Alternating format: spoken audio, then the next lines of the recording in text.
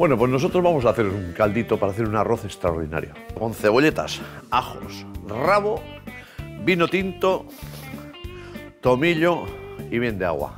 Y en esta olla, cuatro dientes de ajo y dos cebolletas. Troceadas con un chorrito de aceite y vamos a pochar esto. Más te quisiera, más te amo yo. ¿Cómo tengo el equipo? Perfecto, así me gusta. A esto no le quito nada, simplemente abrir las cebolletas en cuatro, porque las vamos a rehogar un poco. El verde también, porque al final lo que nos interesa hoy es que este caldo sea gustoso para que luego el arroz sea exquisito. Esto lo paso por el agua, así. La cebolleta también. Le doy un meneito así, con la cuchara de palo, una gotita, los vamos a hornear. Podrían ser rojos o verdes tranquilamente, ¿eh? No pasa nada. Un poquito de sal. Estos se van a asar aquí como en 35 o 40 minutos. Ahora que esto ya se ha dorado, le añadimos los trozos de rabo. Se nos va a hacer en 35 o 40 minutos. Añadimos esta agua,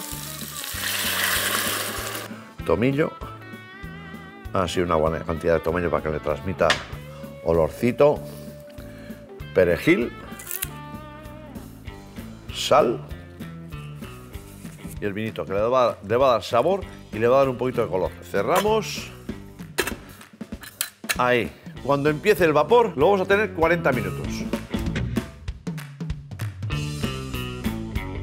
Ahora vamos a marcar el arroz. En esta tartera ponemos tres cucharaditas de aceite de oliva virgen extra y ponemos dos dientes de ajo enteros.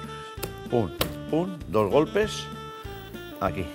Tenemos ya el aceite calentito, entonces ahora lo que hacemos es poner el arroz, le doy dos vueltitas al arroz así, y ahora con un colador colamos el caldo. Esto dejo que repose aquí un poquito para luego sacar los trozos de rabo y sacarles la carne. Este golpecito primero de espuma se lo podemos quitar con un cacillo. Ahí. Y me quedo pelando los pimientos que ya los tenemos asados. Le quitamos el rabito, apoyo aquí en la fuente y con un poquito de temple, en templadito se pelan mejor que en frío. El rabo, ¿veis? Con un tenedor le quito la carne, así lo desmigamos un poquito y esto lo añadimos ahora al arroz. Aquí los últimos toques, mezclado el rabito con el arroz, hago unas tiritas con los pimientos que hemos asado Así. Ahora lo que hago es ponerle una pizca de sal, una gotita de aceite, así. Los mezclo un poquito.